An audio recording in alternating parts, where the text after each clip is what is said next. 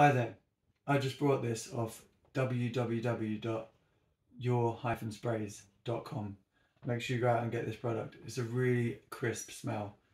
My dog loves it and I absolutely love it. You guys need to go out there and get this.